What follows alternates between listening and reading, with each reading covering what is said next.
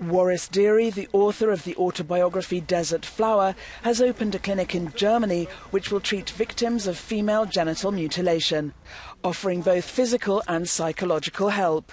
The clinic is situated inside the Waldfriede Hospital in Berlin. It will be headed up by French surgeon Roland Scherer. When it happened, I was with three other girls. There were two older ones, and they did it to them first. I was standing and watching on the corner.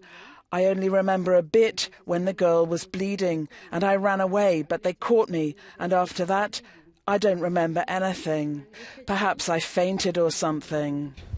The Desert Flower Foundation plans to open more medical centres to treat victims of female genital mutilation next year in Europe, Africa, Asia, and the US.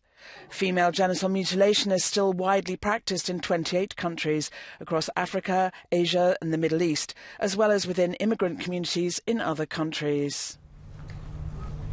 We watch these women suffer.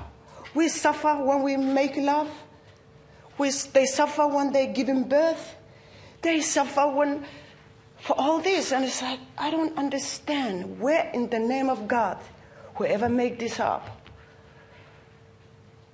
was most cruel human being I could, could exist in the planet.